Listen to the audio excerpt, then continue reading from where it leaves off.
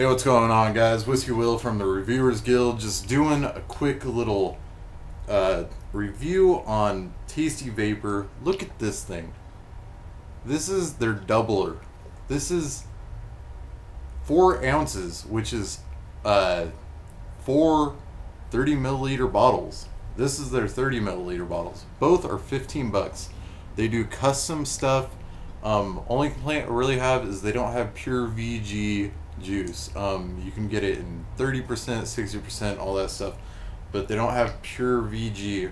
So you get that PG, which is not a big deal, really. Um, I, I kind of like uh, PG for the fruitier, I mean VG for the fruitier flavors, but this is awesome. This is their peach melba. I actually have it raging right now in my silver bullet at six volts, and the taste is great.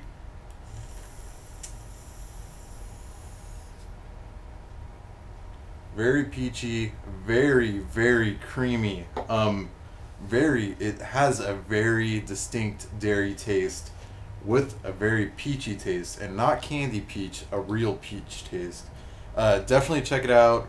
This is 24 milligrams, and it's performing great.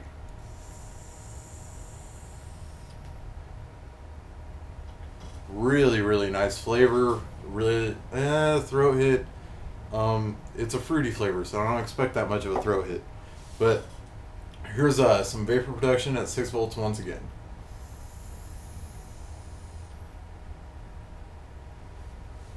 Great stuff. Check it out. Tasty Vapor. Great prices. These doublers, if you're getting into mixing, I definitely recommend it. I got a custom too. Um, raspberry, strawberry, orange cream. He does customs. Check it out. All right, that's it.